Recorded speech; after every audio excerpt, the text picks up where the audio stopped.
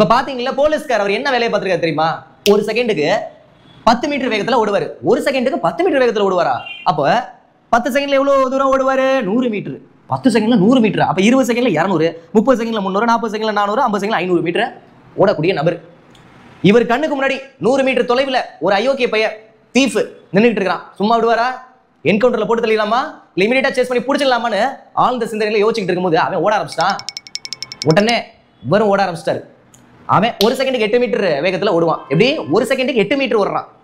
அப்போ பத்து செகண்ட்ல எண்பது மீட்டர் ஓடிடுவானா? பத்து செகண்டில் எண்பது மீட்டர் ஓட்டான். கண்ணு கெட்டின தூரமே நூறு மீட்டர் இப்போ நூற்றி எண்பது மீட்டர் ஓடி நான் பிடிக்கணும். பத்து செகண்ட்ல எண்பது மீட்டர் அவன் ஓடுறான். ஆல்ரெடி கேப்பே நூறு மீட்டர் கண்ணு கெட்டின தூரம். நூற்றி எண்பது மீட்டர் ஓடினாதான் அவனை பிடிக்க முடியும். நம்மளால தான் பத்து செகண்ட்ல நூறு மீட்டர் தானே ஓட முடியுது. அப்புறம் எங்க பிடிக்க? சரி இருபது செகண்ட்ல பார்த்தா அவன் நூற்றி அறுபது மீட்டர் ஓடுறான். கண்ணு கெட்டின தூரம் நூறு மீட்டர் ஆகும்போது இரநூத்தி அறுபது மீட்டர் போய் பிடிக்கணும். நம்மளால இருபது செகண்ட்ல இரநூறு மீட்டர் தான் ஓட முடியுது. இப்படியே அவன் ஓட இவர் ஓட ஒரே கூத்தா இருக்கும்.